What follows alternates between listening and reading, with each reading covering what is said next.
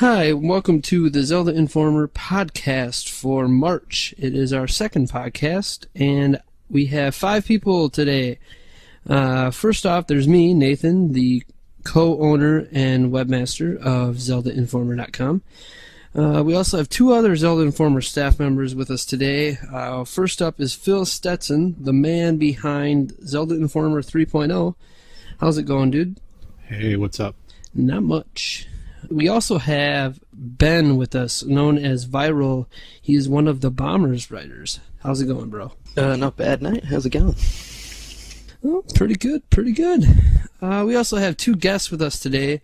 First up is Cody, the webmaster of Zelda Universe, here for his second straight podcast. How is it going? Well, actually, it's more like my third straight podcast if you include that video one. Shut up. We also have with us. we also have with us uh, Nick, known as Zizer, the webmaster or co-webmaster of LegendofZelda.com. How are you doing tonight at 2 a.m. in the morning? I'm actually doing pretty good. Uh, how about you? Oh, I am wonderful. So today we're going to talk about uh, an aspect of Zelda that maybe hasn't been talked about much lately uh, due to all the Zelda Wii and Spirit Tracks talk. Uh, we're going to be talking about 2D versus 3D and if we think, you know, which one's better uh, and if 2D should be coming back because we haven't had one in a while. Uh, all that good stuff. So, uh, first we'll start with, let's start with Cody since he is the more veteran member of our podcasting team here. Uh, what do you think? Uh, what do you prefer? 3D, 2D? What are your thoughts? Uh, well, 3D is generally better because it's just got a whole lot more choices and a whole lot more things that you can do. Uh, I, it's it's possible to make a good 2D game, but generally, generally a 2D game is just a less advanced 3D game. Um, it's sort of like I guess black and white art. It's like it can be good when used correctly, but I mean, in general, if it's just um, you take the color out of it, it's not that exciting. Okay, that's cool. Uh, Lem, what do you think? Um, Also known as Phil Stetson. yes, that would be me. Uh, I generally prefer 3D. Uh, when it comes to 2D, they're they're a bit less complicated generally. I mean, even with uh, Spirit Tracks, which I guess was technically 3D, it still was top down and mostly 2D. But uh, I I generally prefer 3D. They're usually more uh, immersive. They have better graphics, which doesn't always matter. But when it comes to 2D to 3D, that's a pretty big jump. So yeah, generally I like 3D more. It's more uh, more interesting and has better, more complicated puzzles and stories and stuff like that. All right, that's pretty cool. Uh, Nick, what are you, what are your thoughts on the 2D versus 3D aspect? Um, I think when people talk about 2D and 3D, they're more talking about eras versus like instead of like actual gaming experiences because people who say they prefer 2D games are usually referring to the older ones because they think that it's more of a traditional way of doing it and it has better uh, game development. So when I think of 2D versus 3D, you have to think about it in two aspects. You got to think about the time period aspect of it and the actual like how immersive is the game. So in terms of the time period, I always prefer older games because I feel like they're that originality is hasn't been overdone at that time. But as far as immersiveness, I've always liked what you can do with a 3D game because it, you there's always a lot more to do, and that's what I think makes a game fun, especially for Zelda, because half of the fun is just kind of exploring. I mean, sometimes I would spend more time just walking around doing dumb things than actually trying to advance the game objectives. So. Some pretty good points there. Uh, ben, do you have anything to add to that? Oh well, you know, jump on the roller coaster. The the 3D games generally have you know the more immersive uh, playing worlds. Uh, the the puzzles are generally stronger.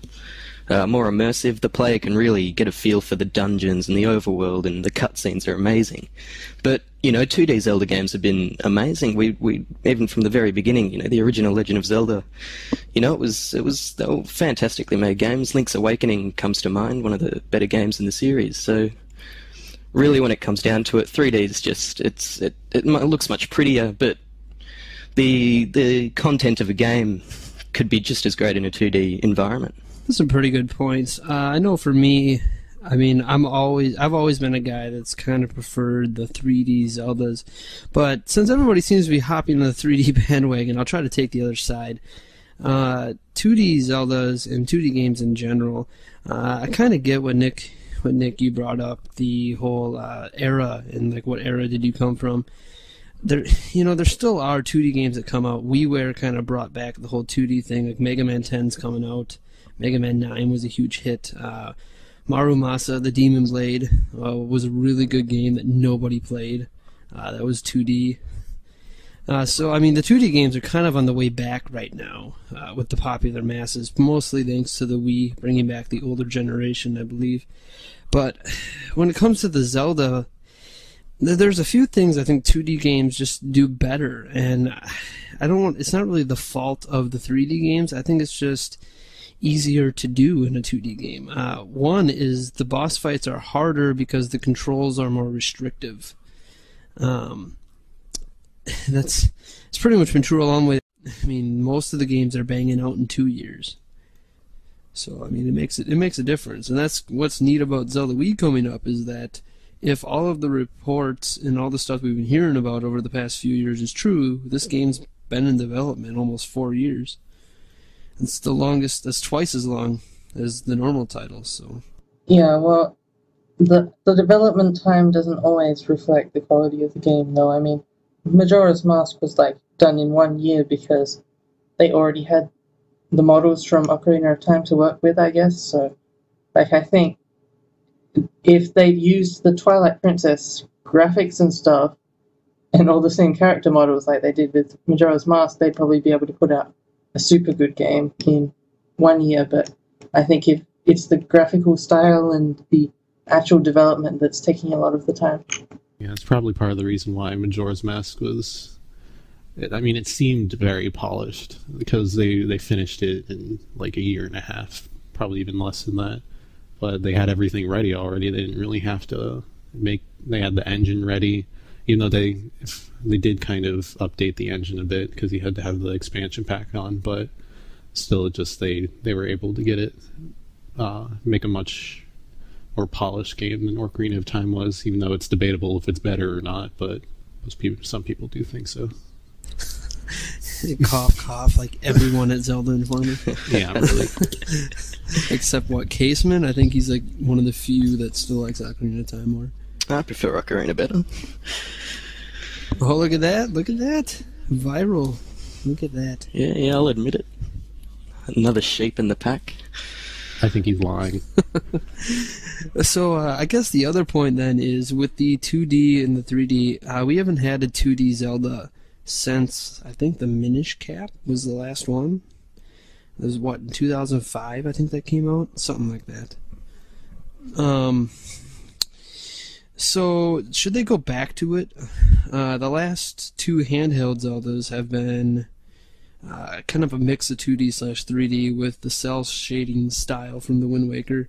Um, and as Spirit Tracks showed, I mean, there was more that they needed to get done with it, or at least that they felt they could do with it. I think most of us would agree that Spirit Tracks was better than Phantom Hourglass.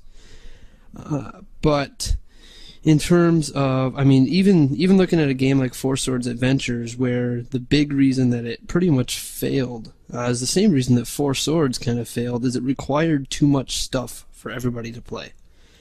Uh, so even a game like that, uh, you could have another one like that come out even for the console. Even like think like a WiiWare title where it's multiplayer Zelda 2D. I mean, they could even do something like that. So the question is, should they even bring 2D back? Because it seems they are leaning to not doing so. Uh, let's start with. We'll go with Ben.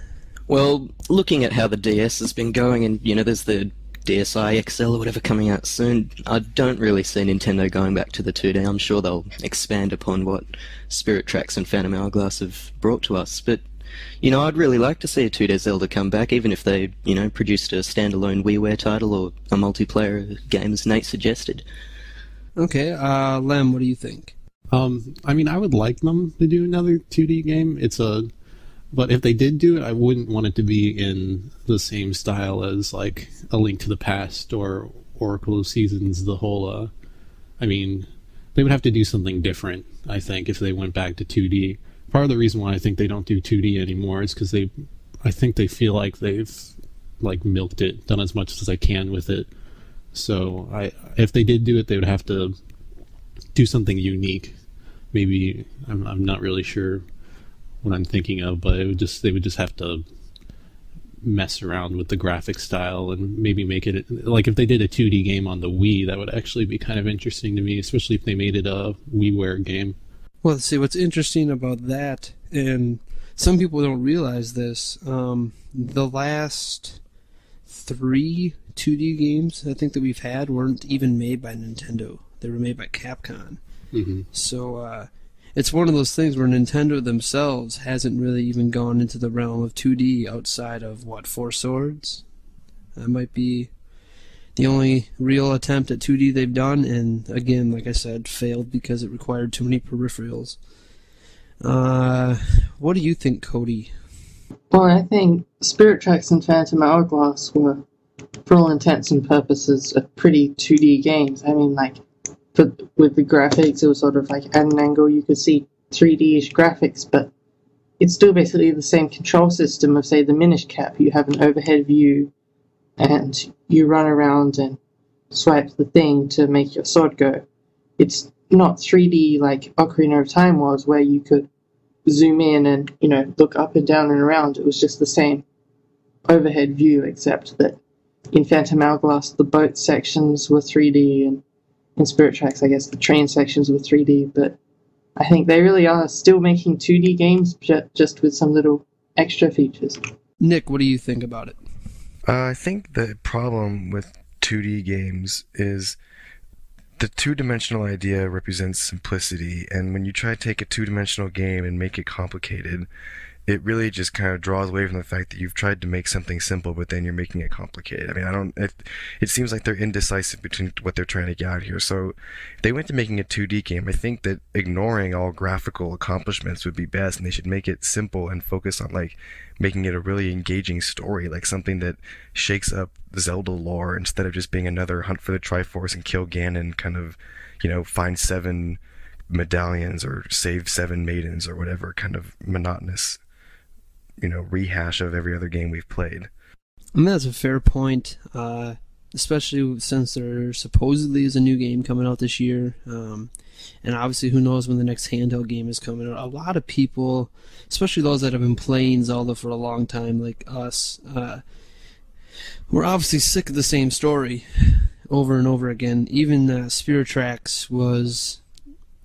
I mean, it was unique because Zelda was with you the whole time but I mean, her body was captured, so it was kind of like the same thing. You had to save her body uh, to prevent them from, you know, resurrecting themselves in it. Which reminds me of every other time that Ganondorf has used Zelda's body in a stage of a fight. Um, and the fact that Malladus himself was just it was Ganondorf with a different name. It'd be nice for a, a different story in general, and I think 2D um, as mu- as good as you can do storytelling with a 3D game, uh, do cutscenes and all that additional character interaction you can get, like Majora's Mask uh, has shown us in the past.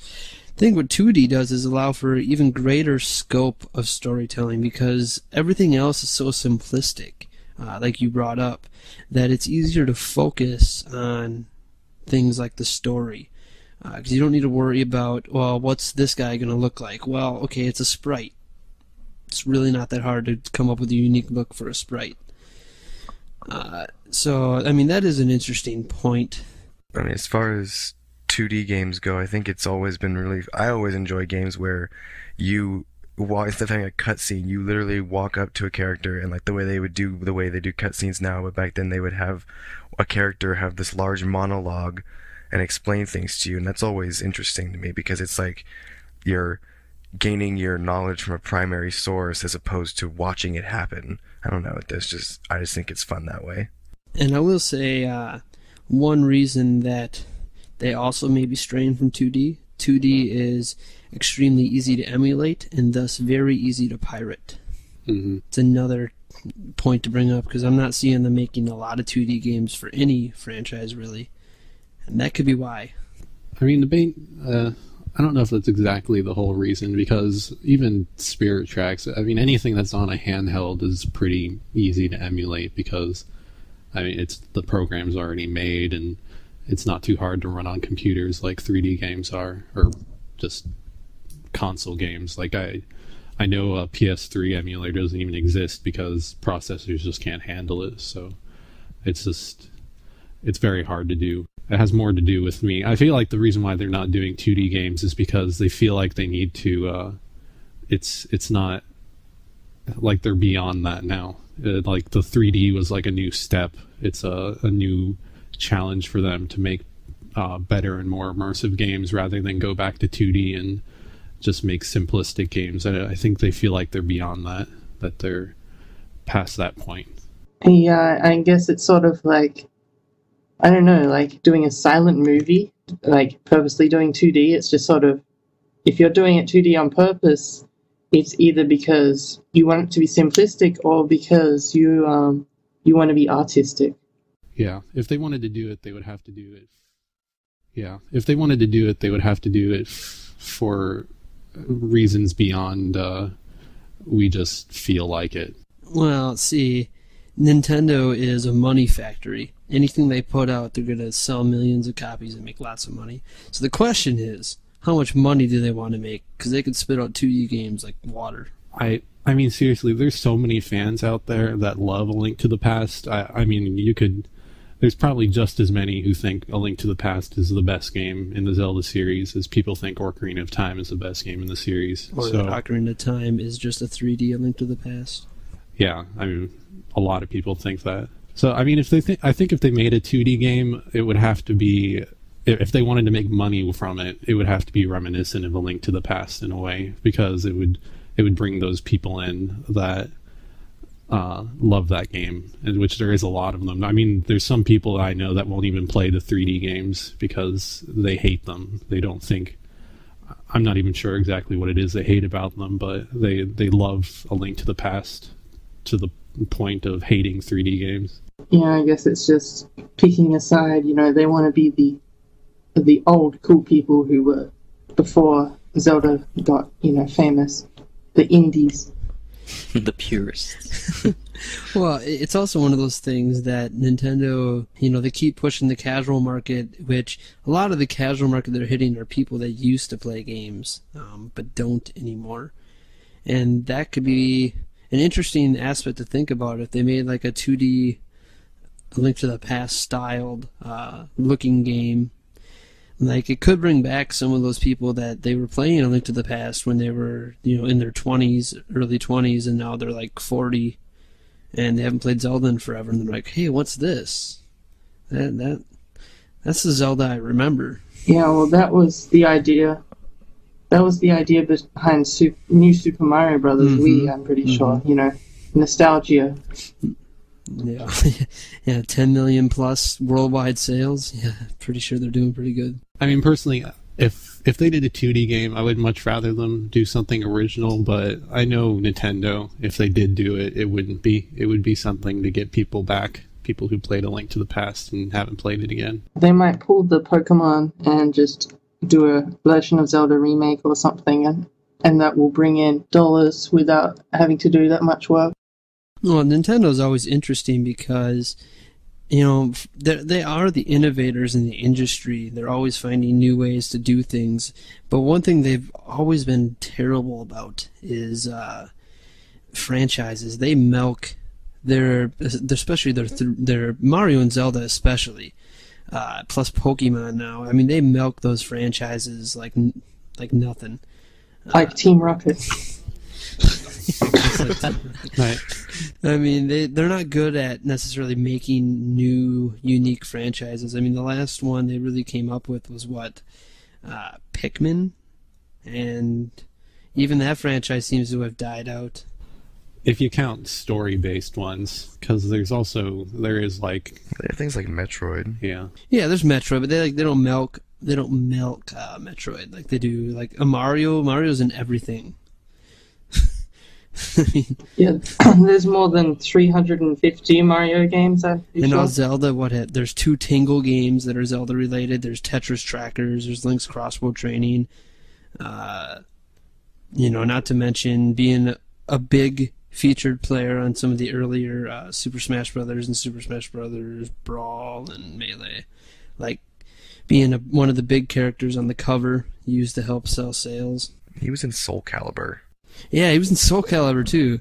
I actually think it would be really interesting if they did a like did what they do with Metroid because they they seem to have a lot of freedom with Metroid. They let uh, random, basically random people just mess with it. They let Retro do it and let now they're letting uh, Team Ninja make their way with it. Uh, they don't seem to have that much freedom with with Zelda. But uh, see, I think that's easily explainable. Uh, Metroid has never been a big selling game for them. Like, if it was for any other company, Metroid would be a massive game. But its like best selling game is only sold, you know, like around three million copies, and the best selling Zelda game is like seven million plus. I mean, New Super Mario Bros. Wii just pumped out ten million plus. It's only been out a few months. I mean, it's one of those. Metroid has never sold as well as their other franchises, so I think that's why they were comfortable saying, "Hey, look, this is going to become our hardcore gamer title, and we're going to let you know more hardcore teams like Retro and Team Ninja screw with it because I mean it's not getting the same sales as the other games already, so we can push this to a different audience." Uh, I mean, I still don't really see what what they're so nervous about because I mean, it's like they put out two Zelda games generally around the same time as each other. That's that seems to be their trend, and I I don't see what's stopping them from letting other people take the Zelda franchise and do what they want with it. I mean, with with supervision, obviously they did that with Capcom, but uh, I mean, it's not they would make more money. They would people would still buy it, and I don't think they would make people would get tired of it either. So I just I don't see why they're not doing it. It, it seems like it's uh, it would be an easy way to get money, to me at least. Part of it's probably a lot to do with the fact that I mean, when you think about Metroid and you think about like Mario and all those other games that they supposedly do these things with, like how much in-depth backstory is involved with those things. I mean, when you think about the complexity of what Zelda represents and how careful each detail would have to be. I mean, can you imagine the the turmoil it would cause if some company came in and made some small change that like retcons half the series and Nintendo doesn't catch it and they release this game? Like, just there's so much more at stake. I think, which is part of why they won't do it. And God help us if anything conflicts the bloody timeline. Theorists will go crazy. Yeah, seriously, can you imagine though? Just the because when you think about it, we're it's partly maybe to do with people like us. We are so involved in following their every little move with the story and the timeline and this and that. Like, there's nothing to really catch them with that on things like Mario and Metroid. I mean, I'm no expert on Metroid, but from what I understand, it's nowhere near as complicated. It's it's not. No, it's- but it's The. Mario timeline is so complicated.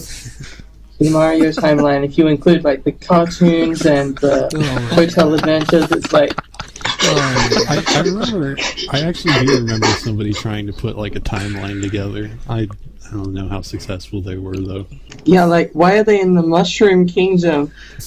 You know, are they from Italy or are they from America or are they from the Mushroom oh, Kingdom? Oh, it's all you confusing. know, oh, is this a split? It's a split timeline, I think. oh no! A three-way split, different Multiple dimensions. dimensions. Blue swamp all over again. I mean, I, okay. I I think I think what they could do with Zelda, if they were worried about that, if that is the thing they're worried about, is people retconning or whatever, they could do. I feel like they could tell those people that you can't do a game that has anything to do with the timeline. They could do like a, a Majora's Mask game where it's like a spin-off of one that's already happened or something like that.